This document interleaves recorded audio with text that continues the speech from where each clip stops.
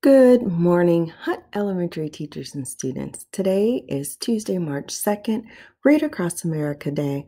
This is Mrs. Slaughter with the morning announcements, so please listen carefully. Please stand for the Pledge of Allegiance. Put your right hand over your heart. Ready? Begin. I pledge allegiance to the flag of the United States of America and to the Republic for which it stands, one nation, under God, indivisible, with liberty and justice for all. Please remain standing as I say the Hunt Pledge. As I say each line, please repeat after me. I respect myself, so I will do my best by making a choice to be responsible, be respectful, and be safe at all times. Please be seated because I have a few more announcements. Our PBIS Universal Expectation by Location is teacher led instruction during distance learning, and our TK through second grade survival skill is getting the teacher's attention, and our third through fifth grade surviving skill is MYOB, also known as Mind Your Own Business.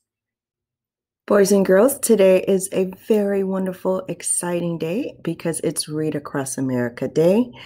Um, we will have some special guests coming into your classrooms to read to you. And yesterday, we had two students caught reading, and that is Christian, who's in the third grade, and Mrs. Freeland's class, and Annalie, who is in the fifth grade, and Mrs. Hardeman's class.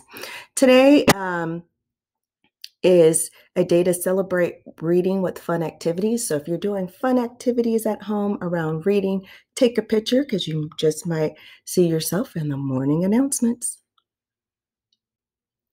Don't forget that mics camera action is our expectation at Hunt as well as the district. So always keep your mics on mute, your cameras on, and actively participate in every lesson.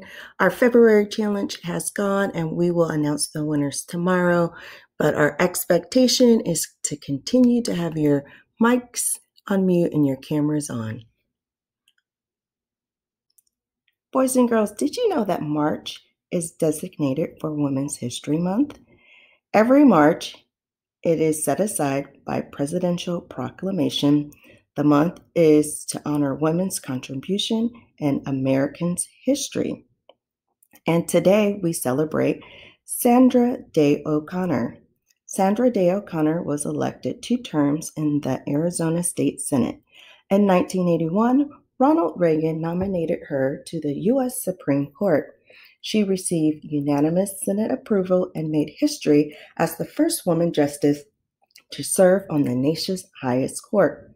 As a member of the country's highest court, O'Connor was considered to be a moderate conservative who tended to vote in line with the Republican platform, although at times broke from its ideology. O'Connor often focused on the letter of the law and voted for what she believed best fit the intentions of the U.S. Constitution. O'Connor was a key swing vote in many important cases.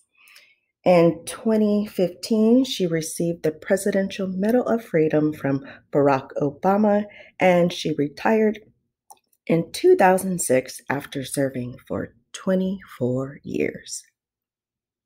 It's time to celebrate the classrooms that had perfect attendance. And yesterday we forgot out of class. So I will let you know that on Friday, February 26th, that Mrs. Villegas's fifth grade class had perfect attendance. And yesterday, Monday, March 1st, we had Mrs. Axe TK class, Mrs. Thompson's kindergarten class, and Mrs. Verduzco's third grade class. Congratulations and continue to show up every single day ready to learn. Hip hip hooray. It's time to celebrate our Husky Scholar of the Day, and that is Mia, who is in the second grade in Mrs. Biddle's class.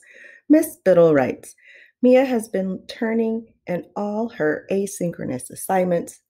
She often shares her ideas in class and complete sentences Thanks, Mia, for your responsible actions.